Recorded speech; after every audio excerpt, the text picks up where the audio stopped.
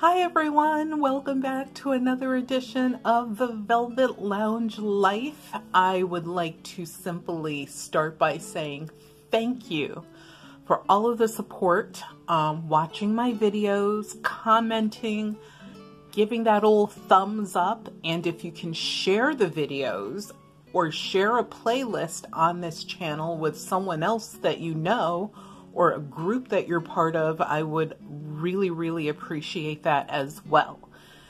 So we're going to get right into this. So I was gifted a clutch of buttons or a bunch of buttons or a haul of buttons. And yes, you could tell by my voice, I am very, very, very happy and incredibly grateful. Um, for size measurements, I've included in this photo, this film, I should say, a Kennedy 50 cent silver piece. So this is actually made from silver. I think it's 65, 67% um, silver. Um, but anyway, it's in this photo so that you can get an idea of the size of the buttons because that was one of the things I promised for future videos. Um, and also you can see that there is a variety here. So in this video, I am not concentrating on one type of button. Also, I have not extensively examined or researched these buttons. I just got them and was so excited about them that I just had to share them with you guys sooner versus later. So that's why we are where we are now. So let's look at some things like immediately. And I will be doing some zooming in and out just to let you know. But I would like to take a look at the buttons that are right here in this corner. Now these are really beautiful antique buttons. The ones that you see right here. I mean, all of them are beautiful, like all of these. But these are really pretty um, old buttons. And you can see that some of them are copper and some of them I think it might be silver. Like, I have to test these. First of all, I'm going to... I know this is such a sacrilege, but I'm going to sacrifice one of them and clean it. And then I am going, because you're never supposed to um, remove the patina from anything that is antique or vintage, or even if it's like let's say it's something that was um, from the last 50 years which is you know maybe considered vintage maybe not we can argue that point. But as the patina starts to accumulate and grow on certain items it the patina adds value. So what is patina? Patina in some cases may be considered the smolts the you know, like, um, I want, I hate using this word, but like a dirtiness because they shouldn't be dirty. Dirty is like, it's sticky, it's icky, it's, you know, like you could tell it has that, whatever that thing is, it hasn't been taken care of.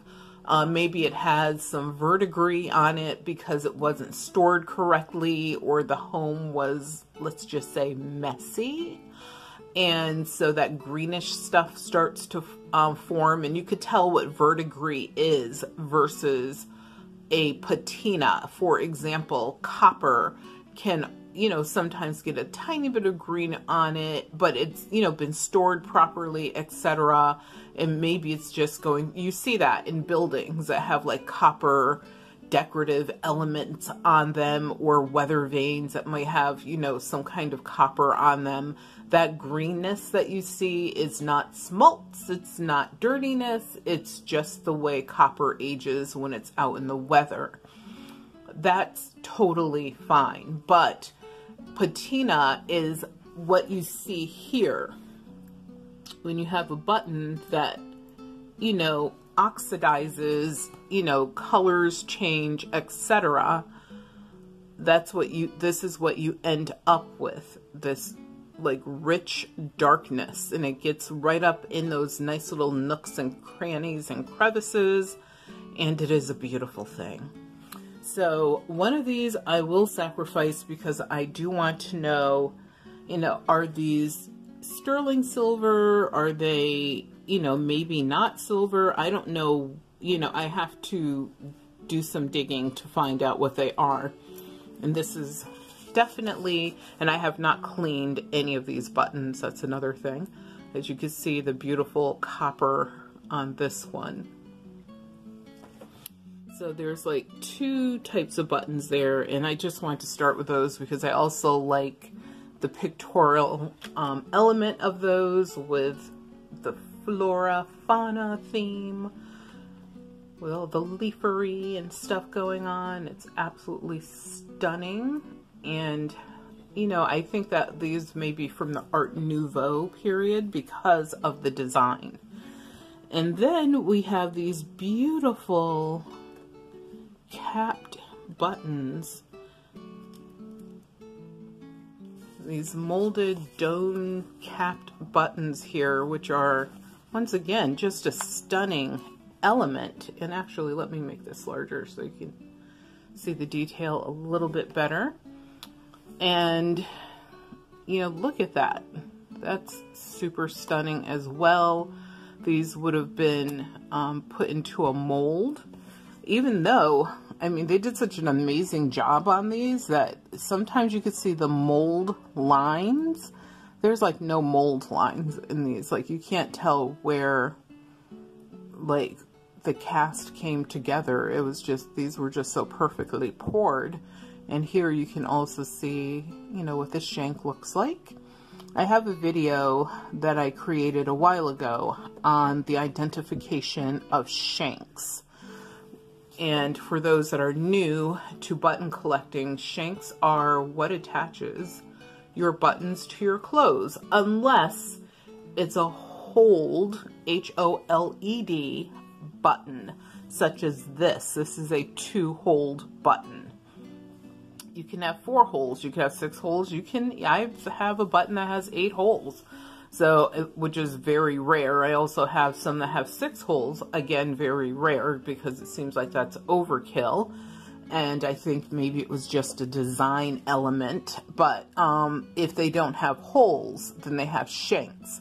And shanks are simply where the thread goes through to attach, you know, these items to your clothes and there are self shanks, there are applied shanks, there are all sorts of shanks. And I will hopefully remember to attach that video in the description down below or and in the comments. I'll also put it in the comments. The reason why is when you are dating your buttons and trying to figure out, like if you know the button is old, like first of all, that's your first identification. Is this even, is this old or is this something new or newer? Um, once you get past that initial question, to help you date your button, I mean, then you look at the material.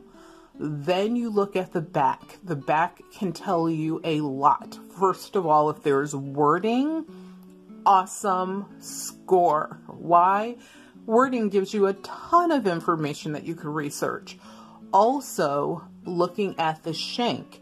The shank is super important because certain buttons were made a certain way during a certain place and time and history. So by looking at these shanks, you can get an idea. It's my squeaky chair because, yes, I just dropped the button. Um, because you can get an idea of how old said button is. And also shanks can be made from other materials as well. So that, you know, is another thing to keep in mind. But, you know, we're not going to go into an entire shank lesson here. As you could tell, I could kind of go on about it for a while, and I will try not to bore you with that. And this is a gorgeous number. Um, the same person that gave me a particular bunch of buttons also gave me more. And I have this particular, but I want to say I have four or five. I think I have four or five of these already um, from her collection that she gave me. And these are made of Bakelite. And I just love the shape. I mean, these are almost, but they're not. They're almost the shape of what? What do you see? Almost the shape of an acorn, I think. But they're not. They're definitely not the shape of an acorn, but almost there. And regardless, love these beautiful, rich brown chocolate color. And what else do we have here? Oh, let me show you this. This is really cool as well. These are celluloid buttons, and I have I've been recently kind of getting into the celluloid. I don't know why. Um, I've had them in my collection for quite a while, but I, I, I didn't appreciate that. I was trying to think, uh, what am I trying to say here? I don't think I appreciated them as much, and now I have a brand new, overwhelming appreciation for these buttons. Um, celluloid is one of our earlier successful plastics. And it was, you know, celluloid was used in everything, like so many things from radios to household items, obviously buttons, jewelry, etc., etc., hair ornaments. It just goes on and on. Um, and just look at what they could do. It was such a versatile material that they could, you know, design it and mold it and press it and fold it into a wide variety of shapes. And also the rainbow of colors is astonishing. And when they age, they have this beautiful hue that they take on. I can't imagine what they would have looked like brand new, but I just love the aged hue of them um, that they take on this just, I don't know, extra rich color. Like here is a good example. I can imagine this being a bright yellow at some point. And it's still relatively bright, but not as bright as, you know, a modern yellow.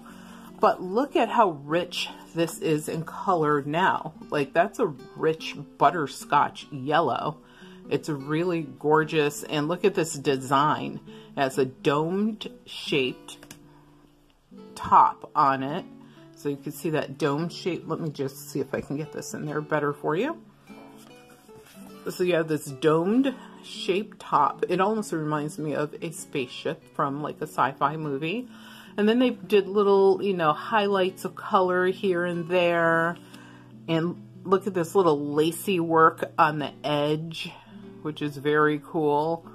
And of course, this is classic for a celluloid button is having it, you know, applied like this to, and of course there's an applied shank, um, to the back. And the backs were normally made of metal like this one is, and sometimes they were also made of cardboard because of the war efforts.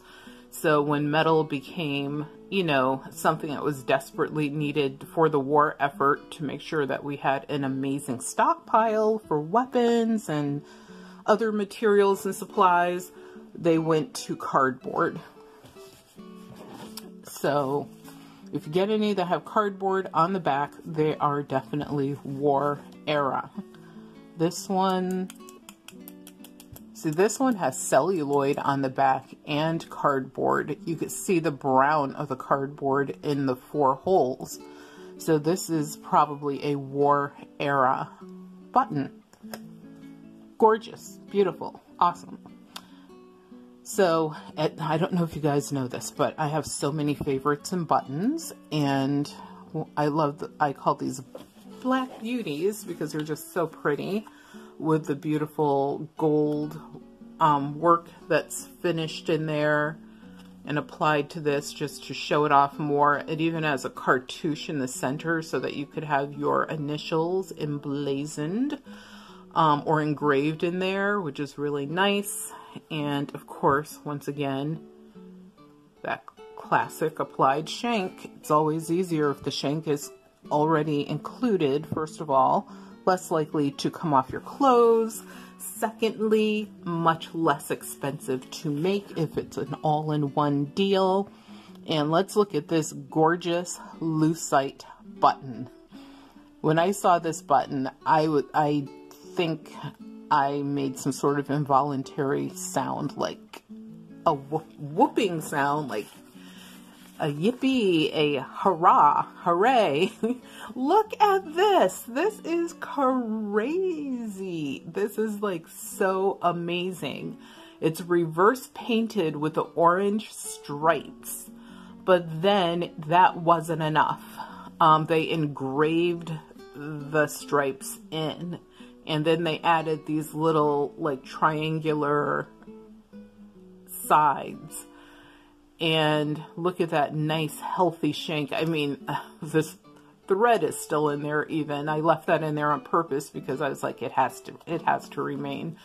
Um, just an amazing lucite button. It's clear. The colors are still bright from the orange striations. And another very cool thing about this button is when you look at it from the front, it looks as if those triangles on the left and right side have striations and coloration going through those. But as you saw, they it doesn't. It's just how the button was designed to reflect. And so that's like a smart use of materials, like in labor, if you think of it, whether this was done by machine or human, is, you know, let's create this cool effect. And also when you move the button, there's action. Like there's action without having to add any extra parts. This, you know, out of all the buttons that I received in this group, this is definitely a top five. And also, let's take our silver half dollar and look at how chunky that is. I mean, they were also generous with the size of this button and also the thickness. You can see compared to this half dollar how thick it is. So, wow. Love, that's why it's sitting here in a place of prominence, as you can tell. It's almost like in the center of all of the buttons. Ooh, and another beautiful lucite button that was in this collection is this one. Like, what? Someone called the doctor because I'm about to have a fit. This is so amazing with all the little squares in there, all that molding that was done, and then each one of these little squares, it almost looks like they're hand painted, but I don't think they are. I think what happened is this button, it was like dyed or something, and then they wiped the coloring off to reveal each individual little square. And oh, and also pay attention to the fact that here at the top and bottom, it has like a little domed effect. So let's turn it sideways. You might be see that. Okay, that's a lot of work for a button. That's so cool. And then around the side, and you can see where it was painted because you can see how it, there's some unevenness to it which, you know, is a good way to prove hand painting. And then look, you can see how it's applied to the shank on the back. Nice and neatly tucked under. Anyone on RuPaul's Drag Race wishes they had a tuck like that. Um, but yeah, this is this is great. I mean, I'm so excited about these buttons. I keep dropping them. That's the excuse that I'm using. I'm skipping over to this button. Whoa, whoa, and triple, quadruple whoa. This button is absolutely stunning. Now the center, like there's so much work that went into this button that it's absolutely insane. I couldn't even imagine like what this button would have cost, but to make a button like this nowadays, it would have been very, you know, nowadays I I was going to say it would be very expensive, but I don't know if anyone would even put the effort in unless it was a super high-end designer, but even they don't really pay attention to buttons. The funny thing is they rarely ever discuss buttons when it comes to their design. The only buttons I would say that still um, or designer that really still appreciates, I believe, I don't know if this is true, um, the importance of a button is probably Chanel because if you purchase a Chanel item, you still get the classic double C buttons, but they did go to putting plastic, like using plastic a lot in their buttons, whereas previously they were made of metal, the authentic ones. I mean, you could go on eBay and buy them, and not to be mean, but they are reproductions and most of them, and there's very few out there that are the original. There are some out there, but there's not that many, so be careful if you're buying them.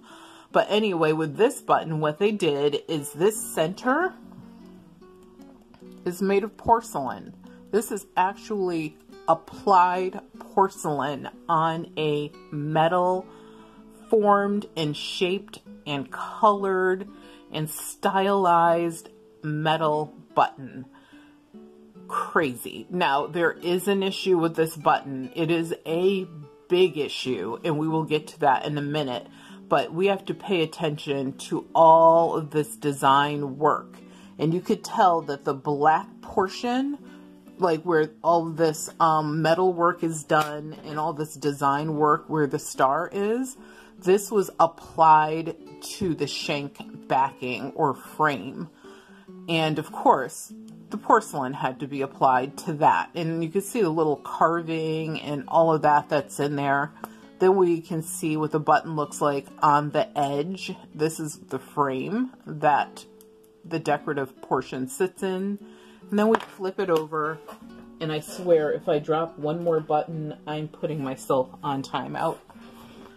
I probably wouldn't mind since I was up relatively late. So you look at the back of this. And guess what? April Fools. This is not a button. It is an earring. So when I first saw this, I was so exciting. I mean, did I get you guys though? Come on, did I get you? I was so excited when I like was taking this out of the button bag. I was like, oh my God, this is like the most amazing button ever. And then I flipped it over and saw that this was definitely an earring. How can I tell? Look at the placement. A shank would be in the center. This is up at the top. I believe that this was not only an earring, but it was probably a clip-on earring. But this is going to be awesome in one of my projects. And this is porcelain. It like all the other elements are what they are. Like this is a lot of work and absolutely beautiful. I had to put it in here because I know that there are some people who are looking at buttons and they're like, oh, I have this one, it's missing the shank. How do I know? You know, is this a button? So, I mean, there are ways that you can easily figure, well, I think it's easy anyway, that you can figure out if something is a button, is an earring, is something else. You sort of just have to do a little bit of detective work. Now, this is another button that was in the pack that I absolutely adore. It is made of material. This is like a velvety fur almost. And you can see that on the edge. And then in the center, we have this embroidered, maybe it's made from a lot of material and folded around and sewn on, um, like rose with leaves and stem and all. And this is purple. I don't know if you can tell in this video, but this is actually purple in the background.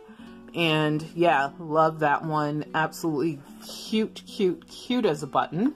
And I will be using that definitely in a project or two. Um, these I just think are so much fun. Let's let aim the camera somewhere else. I think these are just so much fun. Um, you know, you have your abalone shell, which some people will call mop or mother of pearl. But you have your abalone shell. You have, look at this cool shank. Because of that shank, you could use this easily to make jewelry and other things. Um, and then you have on top this glass bead. This is a glass bead. And the finding actually, or the shank is made of brass. And all three have this wonderful marriage and permanent existence. Some might call it a throuple. Um, but I have several of those, as you can see, um, which was really awesome to get all of those because I, you know, have a couple ideas for those as well. And then over here, this is not a real coin because I have had questions about that as well. Like some people are like, is this made from a coin? Or, you know, can you tell me anything about it? Like when you have buttons that look like this, 99.9% of them were simply made to look like coins, but they're not coins. They're just, you know, a design that someone wanted to use for a button. You can see the shank there. Are there buttons that are made out of coins? Yes. Um, but honestly, it's usually pretty obvious like that those are actual coins and not something made to look like a coin. And also you could see, I don't know if you can tell, but there's no separation between this top and the bottom. This is actually all one piece and you can see part of the molding marks like right here, that line. This would have been poured into a mold as liquid metal, cooled. They would have used some blackening on it to get like, you know, the details in the face and, you know, around the edge, etc. And that's how a coin, um, a coin button like that is made, but that is not an actual coin. What else can I show you here that's interesting? Da da da, I showed you that. Oh, let's show you another pictorial button. Oh, this is not a pictorial one. Where is it? I thought I put on the table. I guess I did not put that one out here. There was a pictorial button I want to show you, but I don't have it out here. I did um, receive some of these like anchor buttons this is another thing that confuses people. You know, they're not sure which buttons are military, which buttons are, you know, made for fashion. This is a fashion button. One reason you could completely tell by the back of it, military uniform buttons are usually not made like this. Um, there's a lot more work that goes into the backs of them and and sometimes I think that's for a couple reasons and there these are all legitimate reasons. Reason number one, um, there is a button if you're lucky enough to find it. It's a military button and it's made so that the top detaches from the back and inside there's a tiny map um, so that if soldiers get lost or whatever, they can find their way out. And they did that, I guess, in you know, several campaigns, not lots of them, but I guess several. And so if you ever find those buttons, you know, or a military button, you might want to see carefully if you can simply twist the cap or the top part off and detach it from the bottom because you should be able to easily twist it back on without damaging the button. If you have to pry it or something like that, don't do it. You're damaging the button. Um, another way that you could tell is usually whoever made the button has all of their information noted on the back. Why? Hey, great free advertising and a great way to show that you supported, you know, the armed forces. But this is definitely not a military button. So there are a lot of um, references, reference materials, whether it be in books, um, in different groups you can join online, as well as obviously Google it. Um, and you probably can find out whatever information you need in regards to military buttons because, hello, it's a military, so a lot of people want to be. So this button, I'm taking my time to get it on the tweezers because it's a little baby. Um, and my paper, there you go, flip it over. It's better. And yes, I have paint on my hands and everything else from my day of creating junk journal stuff. You could see how small that is in comparison to this coin. What I love about this button is the molding. The molding work on this is absolutely amazing. Um, it's, okay, this is really weird but it reminds me of like a little muffin. And this is a ivory or vegetable button. And so these are made from like cellulose, um, tree bark, whatever. I mean, these are made from natural materials. which is why they're called vegetable buttons. Um, I do have a couple ivory buttons. Let me see. Oh, let's one right here. So here is an ivory button. Absolutely stunning because look at that design element where it's just, you know, that spray going over to the right hand side. Absolutely pretty. Lots and lots of detail. This is what the back looks like.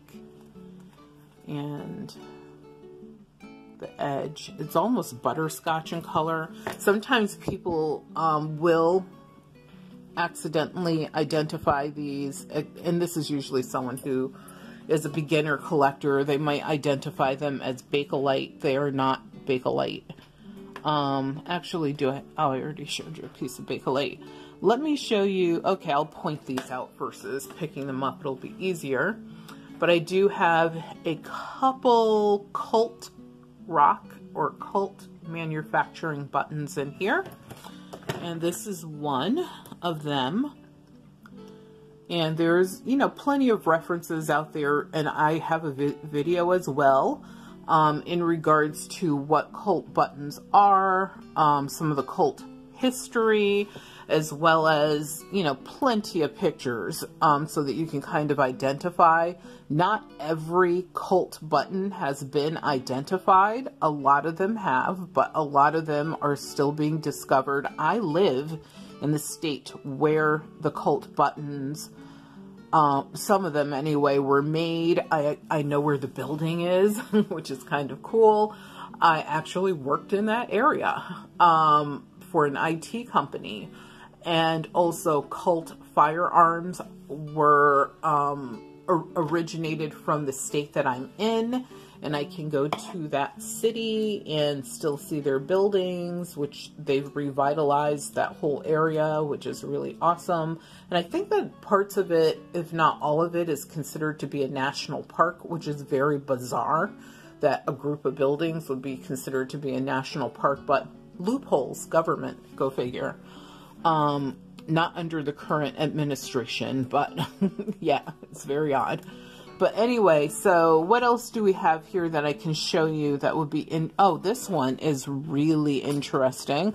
I I think this might just be plastic, um, but what type of plastic is the question. So if you know what type of plastic this is, what era it may have come from, I would love to know. I do have some speculations um, based on the design, um, but you know, I still am not sure what type of plastic this is, but it's, you know, really pretty button. I mean, it's not Catalin. It's not, I, I don't know. I don't know what this is. And you can see where it was fused.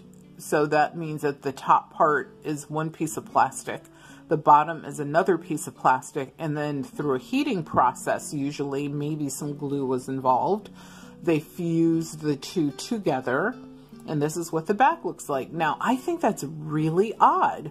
It's a two-hole button, as you can see. What I think is odd is, like, why go through... That seems like a lot of trouble for this button um, to be made of plastic. Like, why not just make it all of the same material versus having to go through another process of fusing this together, which they probably did with heat. Um, I, I don't get it. Is it just to get this little bit of color underneath? I, I don't know. And it looks like it had to be painted or it was carved out inside to get underneath to get this black highlight. So I, I don't know it's just very odd that you would, you know, someone would go through that much trouble. Is this an experimental button maybe? Maybe it's one of the, you know, prototypes. So if you know anything about this button, please let me know. Thank you. In the comments down below, of course. Oh, and we are going nowhere without looking at these absolutely stunning, very early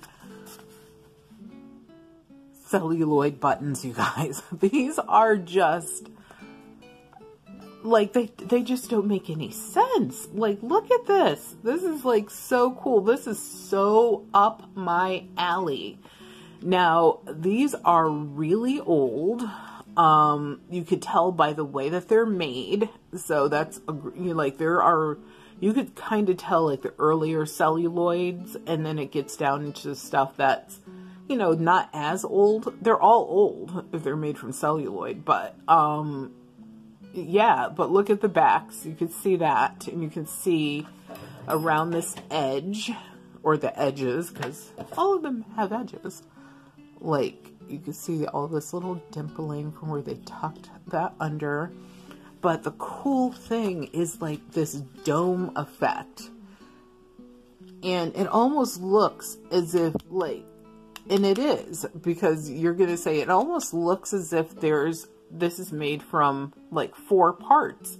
Yeah, this is a four part button, which is crazy. So what they did is they have, of course, you saw the back. You can see the metal back here. And then you see the frame or this perimeter area, this part that goes around holding everything together. And inside is where the yellow decoration is. And I don't, that could even be made of paper. That could be a paper insert. And then they put a clear celluloid cap over all of that. And the machine, or maybe it was a human, I doubt it, but pressed all of this together wow, this, I hate, I'm always like, you know, my top 10. Okay, I have a top 5,000, okay? This is one of my top, uh, like, favorite celluloid buttons for sure. Just the respect for the work that went into it, as well as look at that design. And not only do I have one, I have two, three, four, I don't know, like six of these two, four. Yeah, I have six of these. Now, so one of them, which one is it? Has more of a, yeah, this one, you, so here, this is how I could tell. I did, a, I did not do this. This button arrived into my hands like this. But that is how I could tell how this button was made is because over time, this one somehow became damaged and it, you can kind of tuck, which I won't do on camera, but I could kind of lift this and take a peek inside with my loupe. And I was just like, whoa. I wonder if someone did that, like, who knows, 20, 30 years ago because they were curious about how these were made. But yeah, so thankfully that person did that because I wasn't going to damage the buttons to find out. Um, and you can even see like something got underneath this celluloid clear covering. But yeah, wow. Just absolutely amazing. It's amazing, like the history of things and something like a button that most people look at as, you know, oh, it's a button. It's a, and then they, you have the greedy people who are like, oh, I have all these buttons. Do you think they're worth anything? It's like, dude, don't even talk to me. Like, you should want to know more than if they're worth anything. You should want to know what, you know, more about them, the history of them, etc.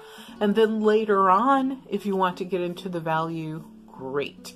Uh, oh, another button to show is this one. This has um, applied enameling.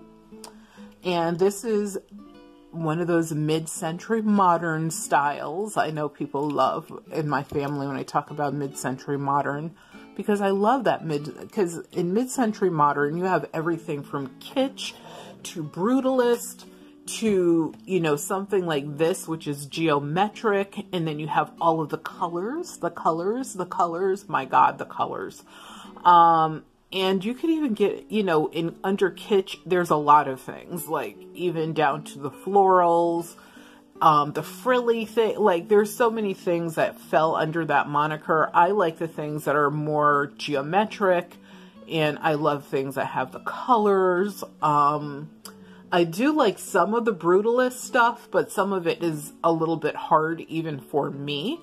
Um, you've seen me show on, you know, some of these videos, some of the brutalist styles, and whether it be in costume jewelry or buttons. Um, and of course, you can still see it in architecture and things like that in certain cities, towns, etc. And a lot of people are, they're like, wow, you know, we're downtown and everything looks so homey until we get to this building that has all of these cement blocks that are in the shape of circles or triangles or waffles or whatever. And it's like, yeah, they snuck it in where they could. So I guess that's it for today. Um, I could go over a few more. If you see anything in this picture that you want me to like answer questions about or give more information, this is more of an examination. Um, it's sort of how I go through my buttons when I initially get them. I pull out the ones that I like the most or that just simply catch my eye, even if they're not, you know, something that I'm falling in love with or having, you know, going to have a future relationship with because I'm going to save them and put them into my own collection. I still pull out, you know, in any of the oddities and things like that. And then I start to sort of do my own detective work by looking at them closer to try to figure out what they're made of. How old are they?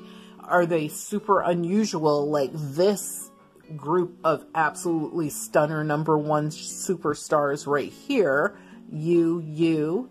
Um, and also you right here. I mean, there's so many in here, you guys. And then being kind of tricked by you. And, you know, also material but buttons made from material are just as important as other buttons. Um, yes, they were less expensive. They were made from scraps and things like that.